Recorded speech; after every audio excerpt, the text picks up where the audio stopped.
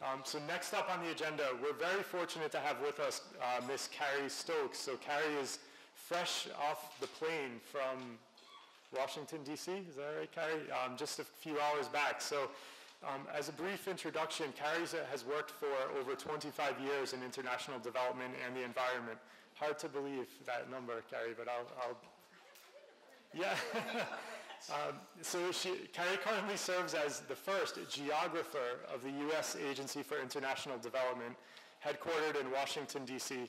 She established and now directs the agency's GeoCenter, which applies geographic analysis to USAID's international development programming. Prior to becoming the agency geographer, Carrie served as the director of the SERVIR program for USAID in a joint venture with NASA. Carrie has a technical background in GIS, global climate change, and natural resource management. So I'm very happy to welcome to the podium Ms. Carrie Stokes.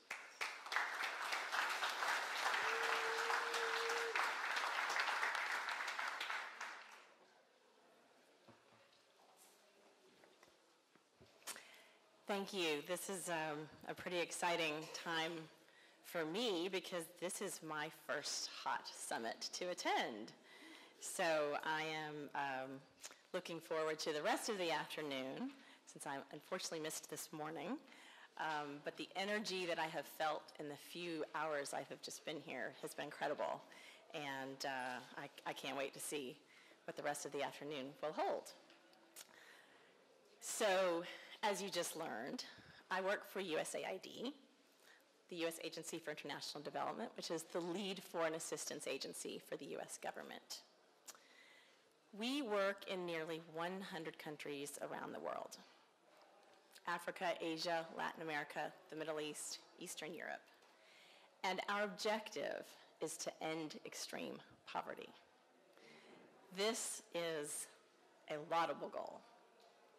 And for me, it's very personal. Many years ago, I didn't know the number 25 was going to come out publicly, but Many years ago, I lived and worked as a Peace Corps volunteer in one of the poorest countries in the world. For those of you who are not familiar with the Peace Corps, it's a program that the US government supports. Many of the volunteers who join are right out of university, but you don't have to be right out of university. Um, they commit for two years and they go to a country that they're sent to to provide technical assistance, to learn about the culture and the people and to live with them, and to then bring back what they learned to the United States to help Americans better understand about how others in the world live. So in my case, I had a mud hut in the middle of a millet field. It was in the country of Niger, which is in West Africa. Like that community that welcomed me, I had no electricity. I had no indoor plumbing. And every day I walked to the well to fetch my water. And I even learned how to carry it back to my house on my head. It turns out carrying heavy things on your head is pretty practical. You should try it sometime. This time was well before the days of email, internet, and cell phones. So learning to live in these extreme conditions that the community I was with, it was normal for them, but for me it was quite challenging. I had to get used to different food and being around people who were, had food, in, food insecure. I wasn't used to that in my country, in the US. I had to get used to the heat of the desert, sometimes over 120 degrees. That's Fahrenheit, not Celsius. it's hot in Celsius as well.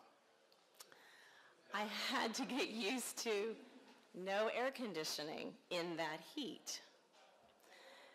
I had to get used to the difference in gender roles in the country that I was living in very conservative country. Women and men had very distinct roles in the community. and I was a woman in this conservative country. I wasn't used to not having a voice automatically when I had, when I had opportunities to gather as a group. I had to get used to a different religion than the one I was brought up with. I had to learn an entirely new language. The language is not a written language. So the way I had been taught to, write, to learn a language, the formal way in school, was not going to work this time. I had to learn to listen and spend time with people and understand the context of the words from the way they were expressing them in their daily lives. I had to get used to animals living alongside people outdoors. Yes, I grew up with pets. We had cats and a bunny rabbit and fish. But I, nothing prepared me for waking up in the middle of the night with a cow chewing above my head.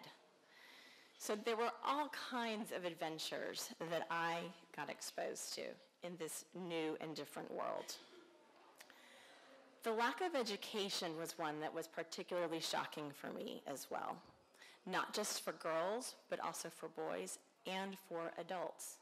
I had never been in a community before that did not have the kinds of education opportunities that I had grown up with. I had actually grown up in a, in a town where most people were rocket scientists, so I came from a highly educated small town in the state of Alabama. So I think of all of these differences and these challenges, the ones that probably hit me the most were living with people and working alongside them and realizing that they have difficulties as a poor community with dependencies on many factors that they could not control. This was a completely different philosophy of living than my Western culture had taught me. Yet, after three years, I stayed an extra year. I couldn't bring myself to leave after the two. After three years of living with this semi nomadic community, as different as it had all seemed at first, I discovered, along with my new friends in the village, that we actually had a very similar vision of the kind of world we wanted to live in. The dreams that they had for their children were very similar to the dreams that I know my parents had for me and that I hoped to have to pass on to the next generation later in my life. By the time my three-year volunteer experience had ended, the resilient people of the country of Niger had stolen my heart. And I had a passion to stay connected to those who had less than I had. In today's world of technology, you don't have to live for three years in a mud hut to contribute to a community in the developing world. In fact, if we're going to achieve the 17 Sustainable Development Goals, we must take advantage of the data revolution in which we are all living. And we're going to have to find innovative ways to address age-old challenges of poverty. At USAID, we're working together with partners to employ smart strategies that leverage the biggest hearts and the brightest minds from all over the world to seek sustainable and inclusive solutions. So that's where you all come into this picture. With the team that I have the privilege to lead at USAID, known as the GEO Center, we like to think of ourselves as data revolutionaries. We are a fairly new startup group of geographers and data analysts. We're embedded within the walls of USAID, and we are working to push the boundaries of the most influential donor agency in the world. This is a new experiment for us as an agency. Never before the team that is called the Geo Center had, had there been an internal capacity to apply data and analytics to inform the kinds of decision making that USAID does on a regular basis. So how are we doing this work? We are incorporating maps, we are incorporating geographic analysis, and the latest in technology and tools to inform decision-making about exactly where USA should be working to address poverty. We are all passionate in our belief that we can make a difference in the way our agency does business and therefore impact the people and programs in countries like Niger. Last year, in support of the OSM community, the GeoCenter launched a new, a, a new program in partnership with three founding universities, Texas Tech University, George Washington University, and West Virginia University. These universities are, two of those three are represented here today. I would like for Patricia Solis, please to raise your hand, as well as Nuala and Richard from GW. Could you raise your hand if they're in the room? Okay, so this is great. We have two of our three founding universities here, and they will be talking uh, later this afternoon in their session about uh, the program that we launched last year called the Youth Mappers Initiative. When we launched this, we had three universities, and this was less than less than a year ago. We now have 30 universities from 12 countries around the world that have voluntarily signed up to join the Youth Mappers program. And the numbers keep growing. Every time I talk with Patricia, she tells me about yet one more university chapter that has signed up to join the program. It's exciting. The importance of HOT and OSM to this program cannot be understated. Your experience in the HOT community for the last six years is important to us in the Geo Center. As I said, we're new. We're still learning. We're trying to make an impact on our agency. Well, we're just about to be five years old in November. So you all have one year on us. And we are definitely looking to learn from you, to draw from your incredible talent, your expertise, your passion, and your dedication, and the work that you've been doing since this group got its start. As a key partner in the Youth Mappers program, we are working to empower university students to create new geospatial data where it is needed for humanitarian and for longer-term development projects around the world. Given the popularity of Youth Mappers so far and the increasing worldwide demand on the HOT Tasking Manager in general, I am really pleased to announce that we in the GeoCenter at USAID are committing to provide direct support to help revamp the tasking manager. So this is quite exciting for us because we rely on it, you rely on it, many more people in the world are relying on this than I think were originally envisioned when it was built.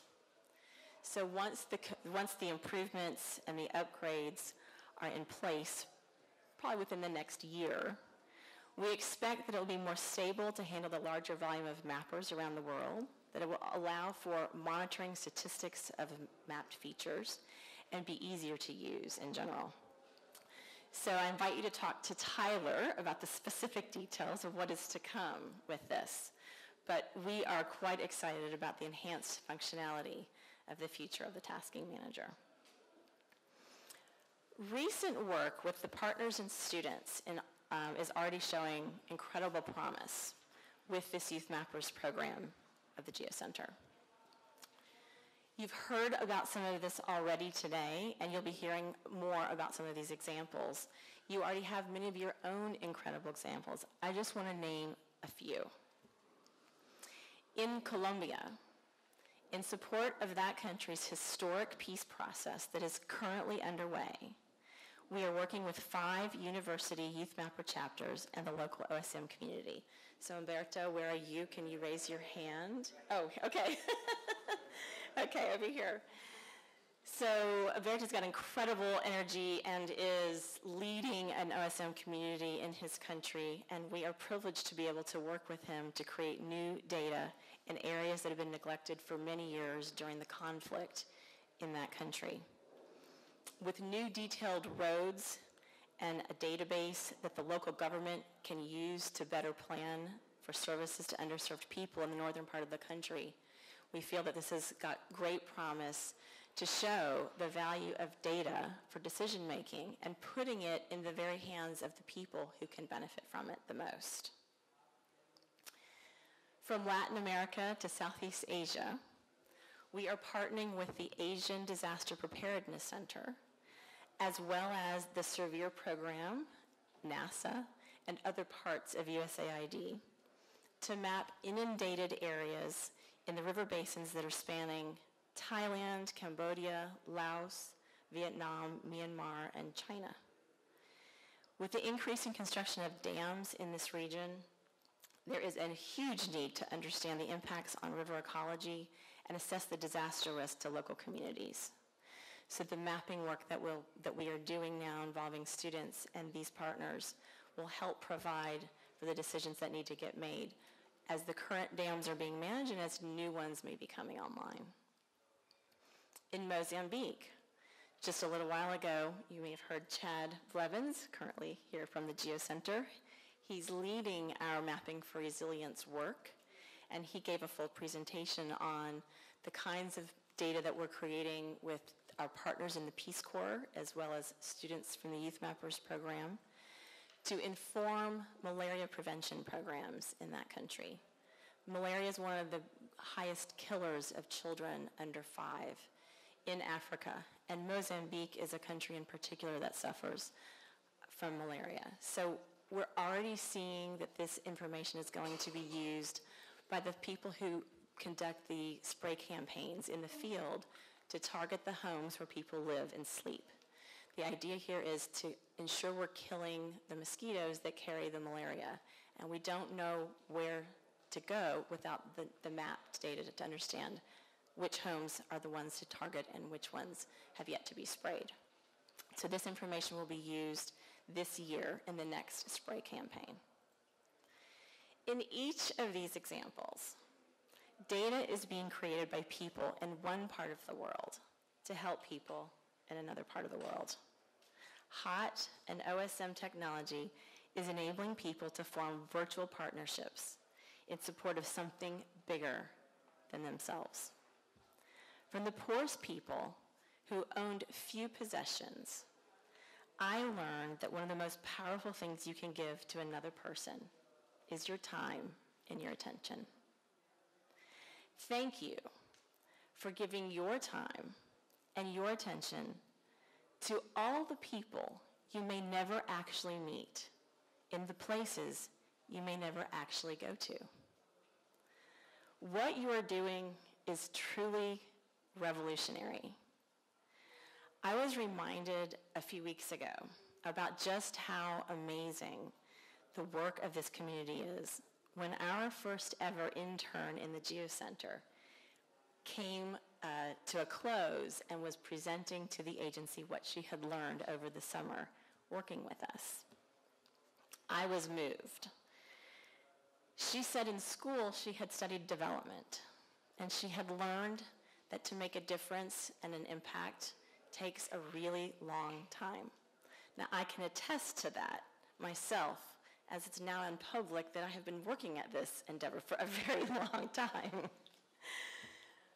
But what she said she learned over the summer was that in just a few short minutes, she could volunteer her time and make a difference in somebody else's life on the other side of the world. And for that, she was proud. And for that, I was proud. And for that, I want to tell you how proud I am to even be associated with this community as I get to know your work better as I look for ways that I can support you and us going forward because as we all know, none of us does this alone. This is a community that I think volunteers passionately, holds a vision about what's possible, and regardless of the challenges that we may face, whether it's people don't understand what we're trying to say and what we're trying to do, they don't understand the technology, there aren't enough resources, there aren't enough time, you know, enough time in the day, whatever those challenges are, this community is not letting it stop them. And I love being part of this energy. It makes me feel young again.